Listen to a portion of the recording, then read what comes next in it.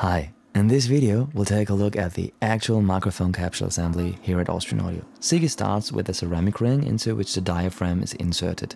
This is followed by a spacer ring that determines the distance between the electrode and the diaphragm. This also creates insulation between these two components, resulting in a capacitor. Hmm, condenser microphone. Next comes the electrode. The electrode is printed. This is intended to make it easier for the membrane to detach when it clatters.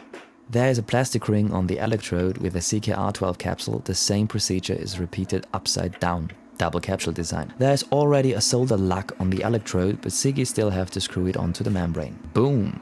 Lovely microphone capsules. And what does it look like with a small diaphragm capsule? Actually almost exactly the same. Here we see Jenny assembling the whole thing in fast forward. We basically have the same components, just in a smaller form and with a different suspension. This capsule is used in our OC707 for example. In the next video, we will take a closer look at how an OC18 microphone is assembled. Please subscribe and thank you Jenny, thank you Sigi.